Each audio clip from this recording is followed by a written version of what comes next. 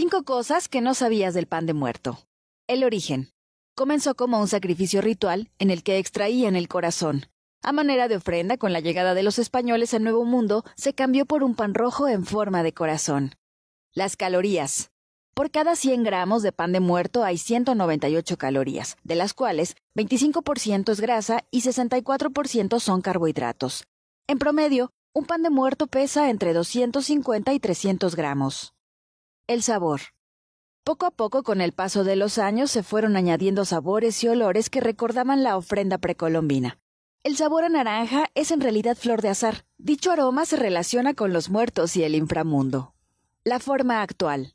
Para eliminar las tradiciones paganas, los conquistadores decidieron convertir el pan rojo en forma de corazón en un pan con forma de cráneo y huesos. Porque es dulce. Para curar la amargura por la pérdida de un ser querido.